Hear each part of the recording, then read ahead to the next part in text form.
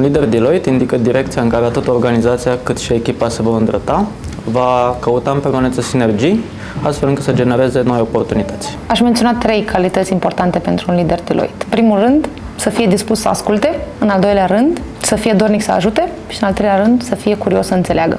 Ca să fac un uh, profil al liderului Deloitte, uh, consider că este calm, optimist, implicat în tot ceea ce face, este un bun comunicator și uh, tratează echipa cu respect. Cel mai important pentru un lider Deloitte este să fie o persoană de încredere și să nu paseze responsabilitatea. Oricine vine la, la el să poată să-i dea sfaturi astfel încât să depășească o anumită situație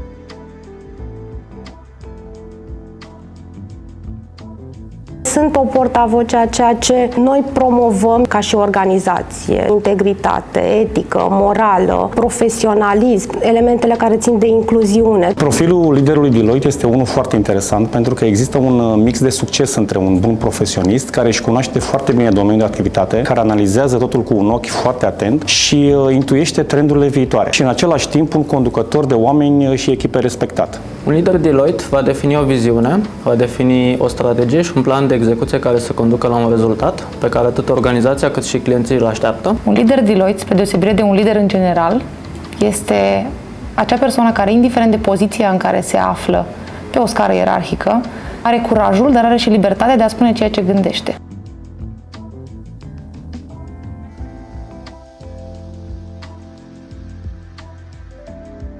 Cadrul Deloitte, într-adevăr, liderii sunt construiți din interior, pe orice palier de senioritate. Cred că cel mai simplu mod ar fi uh, delegarea responsabilității, nu a tascurilor. M-aș încadra în uh, stilul de leadership carismatic. Îmi place să adun oamenii în jur, să-i motivez, dar și să găsesc partea de uh, abilități care le sunt specifice lor, care îi fac pe ei să fie cei mai buni și atunci să putem să găsim zona de acțiune care să îi uh, aducă la recunoașterea și utilizarea potențialului lor maxim.